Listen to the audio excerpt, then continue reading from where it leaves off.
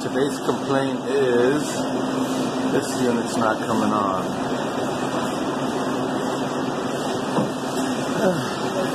Set a large. Two, four, six, eight evaporators. These are the only two that aren't coming on, three and four, so uh, we're gonna go out there, follow the pipes, and see which condensing unit is. Nothing is marked in this building. See you outside. Alright, thanks to whoever did that. Beef quarter three. Anyways, I know that that's the freezer. There's the end of the cooler, so there's my evaporator. There's three right there. And that's four. I didn't mark that one. So just follow your lines. Then you end up at this place. then somebody even did this.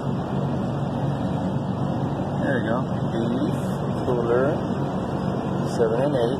It's not ours. This is ours right here. And three and four. So now we gotta go up and fix that line, see which condenser it is. That's about what takes the longest at some of these old buildings. Just trying to find out which condenser goes to what. So we'll see. Penetration with uh,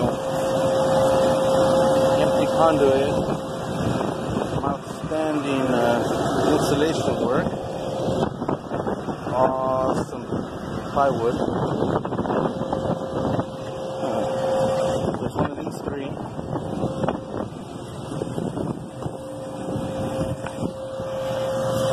Uh, that's seven and eight.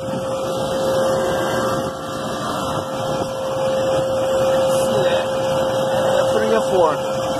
So that's our that's our money man right there. Start turning into it, see what we get. Okay, so we definitely have an electrical issue here. You notice the clock doesn't have any power being applied to it. So that thing doesn't fall on me. So calm down, buddy. Calm down. One and ten have zero.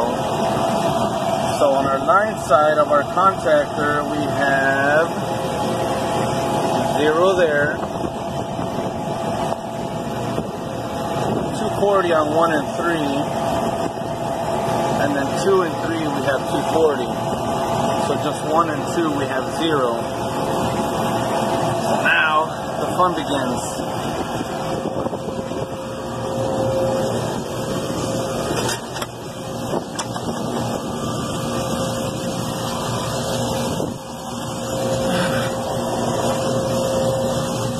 Disconnect.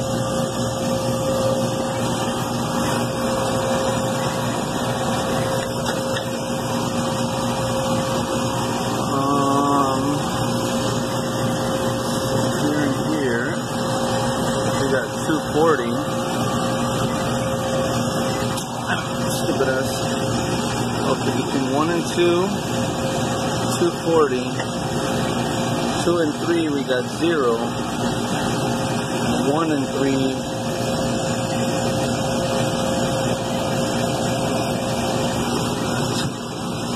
got 240. Let's look over here. 1 and 2, 240. 2 and 3, 0. 1 and 3, 240. So we're missing a leg.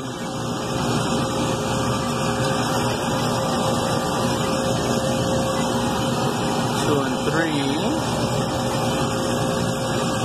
Zero. One and three.